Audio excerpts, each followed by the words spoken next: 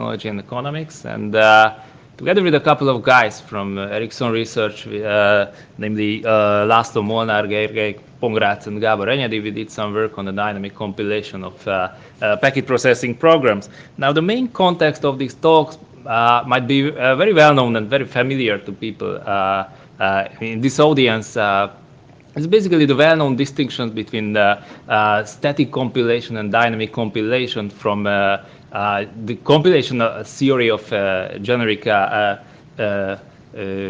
computer programs. So the static compilation basically means taking everything that is available statically uh, like source code, program source code, and program libraries, and basically some uh, maybe some uh, offline usage statistics, and then transform this into an actual executable that is then fixed for the lifetime of the of the program.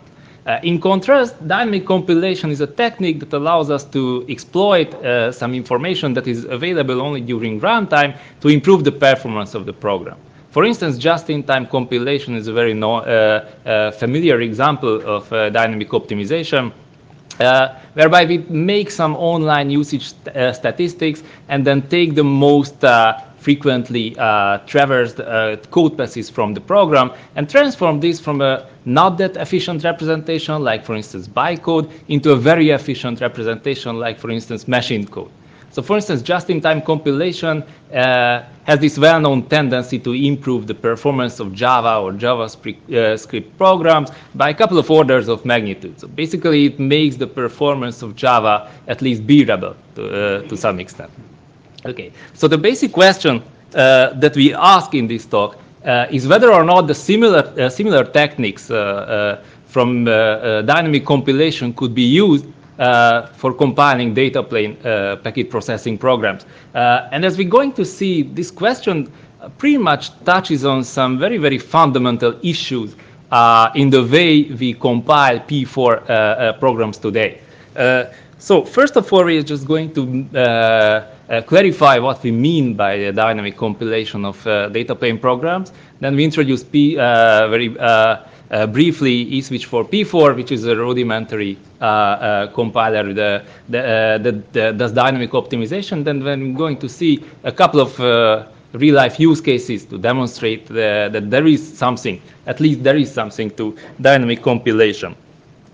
So uh, there is basically the, the compilation model of uh, data plane programs revolves around this, uh, this basically two constituents. One is a static constituent, which we could call the data plane framework, whereas we just define the basic rules that the data plane will use to process our, uh, uh, our packets, for instance, header formats and parsers, match action tables, the types of rules that are supported by our match action tables and the types of actions that are supported, and the control flow between these, uh, between these uh, uh, uh, constituents. And then this is basically what most of the people here know as a P4 program. Okay, this is available statically, and this you could say that this is a semantic description uh, of our data plane. there is this other constituent, uh, the behavior description of the data plane, which is basically just the content of this uh, of this uh, data plane pro, uh, framework that we uh, define by the semantic description. This is basically just the match action table rules that will be, you know, uh, matched against uh, uh, packets and the actual ac actions which are to be executed when we find a match. Okay, so there is this semantics which is available statically, and there is the behavior which is dynamic. This is only revealed to the switch, uh, to the switch during runtime. And what is very, very fundamental about P4, uh, for instance, the P P4 compilation process, is that the P4 compiler takes only the static description, so the semantics, and then it generates a sort of a generic data plane, which is, which is you know, uh, able to uh, basically receive any type of behavioral description from the control plane and uh, sort of execute it with some sort of performance. Now, the basic question we ask here is why do we do this? Why do we throw away all the dynamic configuration that could be also made available to the compiler this would be a dynamic uh, uh, data plane compiler. So it could use, it, would, it could have, uh, have access to both the semantics and the behavior and optimize for both at the same time. Okay, uh, so this is dynamic data plane compilation. Take the P4 program and take everything that is uh, maybe configured during the, uh, using the P4 runtime and then take these two and optimize with respect to both. Uh, there is an actual example for such a, uh, a dynamic uh, uh data plane compiler. This is eSwitch, which we uh, uh, presented at last year's SIGCOMM conference. Uh, it's basically a, a, data plane compiler for Open, OpenFlow. Now, the OpenFlow protocol itself fixes the semantics for eSwitch. Okay, and the behavior is the OpenFlow program, and then eSwitch basically just compiles uh, custom data paths for each and every OpenFlow program that is programmed into it during runtime. Okay, the, and, and as we found in that uh, particular paper, that eSwitch basically runs circles around everything else that is available on the market today, we thought why not just generalizing P, uh, uh, eSwitch from the fixed semantics of OpenFlow to the much generic uh, uh, semantics of, for instance, P4. Okay, so eSwitch for P4 is a proof of concept dynamic P4 uh, compiler. It uses template-based code generation, uh, just uh, like eSwitch, to very, very uh, rapidly synthesize uh, uh, dynamic data paths for, for actual uh, P4 programs. It uses just a small per packet uh, uh, uh, scratch pad and a couple of very simple templates which are used uh, and which are uh, uh, you know useful to capture some useful subset of P4 that we can use to to run some proof of concept use cases and see whether or not it is worth going with this idea at all. So this will be the main question of the talk. Just demonstrate some dynamic compilation techniques using real life use cases. One is that code evaluation. We found during our, uh, our works with Ericsson people that at any given uh, instance of time, a lot of few uh, switch uh, uh, features go unused. Okay, so you, you, compile some generic P4 program for your uh, for your use case, but it turns out for that, for instance, you have empty ACL tables at some some core switches, or some of the core switches do not terminate VXLAN tunnels, etc., etc. In which case, the statically compiled code corresponding to these features go unused. Okay, dead code elimination is exactly the technique from dynamic compilation, whereby we just take all the code that is never executed during runtime and just remove it. Okay, so we can use dead code elimination uh, uh, for eSwitch for P4, and since, since this actual compiler uses template-based code generation, which means that it actually just instantiates all the, uh, the templates that are actually used during runtime so the very nice thing about eSwitch for P4 that we get uh, uh, dead code elimination for free. Uh, okay, here's an example. Here's, for instance, a pipeline whereas we have an ACL table, and then as, as type of our as, as part of our control flow, we apply uh, uh, this ACL uh, on the on the packets that are processed by the by the switch. And if this ACL table happens to be empty, which is uh, very often uh, uh, the case in real life, then it turns out that this, this basically everything is red, uh, in red in this, uh, in this P4 program is completely use, uh, useless. Okay, now in this case, if we just remove this dead code from our, from our pipeline and we need to you know, process less and less tables as we, as we remove tables from, from our pipeline, it turns out that our performance pretty nicely improves. One, one thing to mention, at the moment, eSwitch for P4 targets only software switches. So for hardware switches, the question may be a little bit difficult or different. Other thing is the parsing. If we don't have ACLs uh, configured dynamically, then we don't need to parse. For instance, we may not need to parse uh, layer 4 headers. So we can remove the header uh, uh parsing from UDP uh, and TCP, which again improves performance quite a lot. If you can also uh, remove VXLAN uh, parsing, which ends up to be very, very expensive during runtime, this is again something that improves your, your performance quite a lot.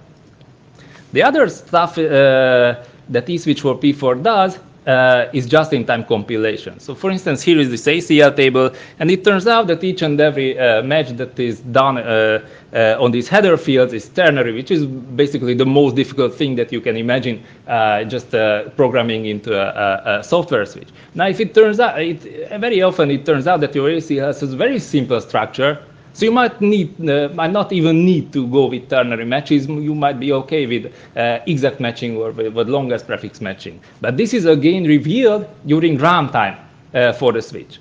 Okay, so what uh, eSwitch for P4 does is automatic on-the-fly uh, match table optimization. It finds the most efficient uh, packet classifier that is available for your exact uh, uh, uh, configuration that is received from the P4 runtime.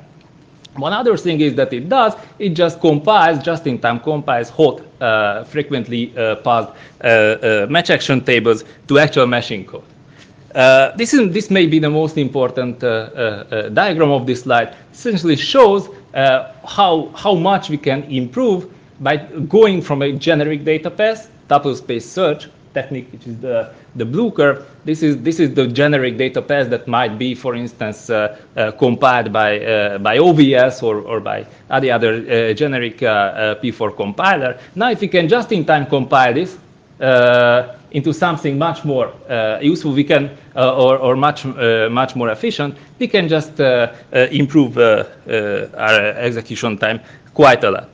Finally, there is another technique that we are going to just uh, uh, mention here, which is constant inlining. Uh, for instance, here is a, is a P4 action uh, uh, for IPv6, uh, IPv4 processing. And as you can see, there are three different instances of these actions that are configured by the P4 runtime dynamically. Now, these contains these, these red constants all these red stuff that you see on this, on this slide uh, are subject to constant inlining, which means that eSwitch for P4 takes all the actions and then compiles individual small code snippets which have all these constant embedded into the code, which is very, very nice in this example because we don't have that many actions, which means that we don't get that many code snippets, but these code snippets will stop doing external memory references, which improves the CPU cache friendliness quite a lot of this code. And this also shows uh, on, uh, on the execution times uh, that, the compiler friendliness of our, of our compiled pipeline can be much better than a generic data passage. So in conclusions, the most important observation that we make during this, uh, uh, during this, uh, this research is that the complete switch configuration becomes available to the switch only during runtime. So the question really arises, why we do we, we, we, uh, we enforce static compilation at all? When, the, when, when we don't even have available all the, uh, all the information. Okay, so it turns out that we can uh, leverage these well-known optimization techniques uh, to improve the uh, switch performance using only inform uh, using information that is available during runtime. Okay, it turns out that this comes at a price. Of course, dynamic optimization is not for free, and what is, what is the added price is the added complexity and the added latency during uh, uh, runtimes. Uh, don't forget that eSwitch for P4 needs to run on each and every table add, table remove, table whatever uh, P4 runtime uh, uh, instantiations. in last year's paper, we, we showed that this additional latency and this additional complexity is bearable at least for OpenFlow we still don't know whether or not it's, it's bearable for P4. So the main question that uh, still arises whether or not it's worth doing a, a, dynamic compilation or not. Okay, we still believe at this point we believe that for software targets it definitely it is definitely worse, which means that we should completely reinterpret what we think about uh, the, the P4 compilation uh, uh, model at this point. For hardware targets, this is this is subject to uh, to further discussion. And a very interesting research question uh, remains. Uh, instead of these three very simple templates that I mentioned that eSwitch for P4 uses, what is the exact set of templates, the exact set of extraction basic primitives that, uh, that the compiler should, uh, uh, should actually define in order to get something which is basically which is uh, uh, which can express a larger portion of P4 than our, our rudimentary compiler at this point. So I invite you to the to the poster to discuss these questions a little bit further after this session. Thank you.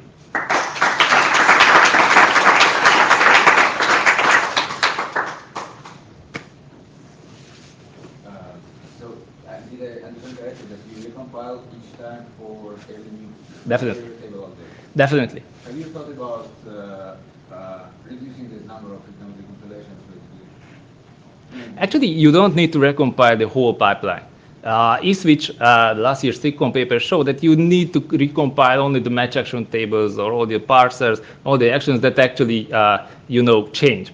So this is even better than, for instance, what you get today with P4, because if you just, uh, you know, download a new P4 program to the switch, very often it is the case that you need to stop uh, the whole switch uh, uh to a halt. What happens here is that you modify, you just, you know, offline, prepare your modified table, and when uh, you are ready, you just, uh, you just flip one pointer, one jump pointer, which will direct your execution to the new instance instead of the old one. So it is a very nice atomic and transactional uh, uh, uh, update model, which allows eSwitch, at least for OpenFlow, to support something like 70,000 updates per second with 80% nominal performance. So it's a very small performance decrease by a very, very intensive update cycle. Thanks very much.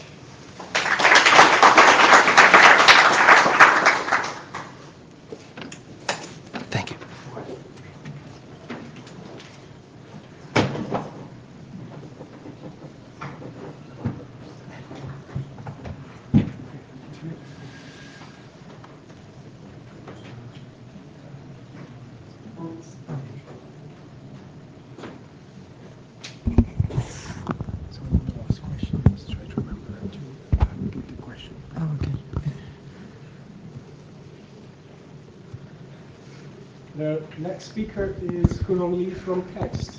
And the slides uh, uh, hello everyone, uh, my name is Kunong. My talk is about building network functions in Rust. This work came out of collaboration with two groups at KAIST. One of my advisors, Sue Moon's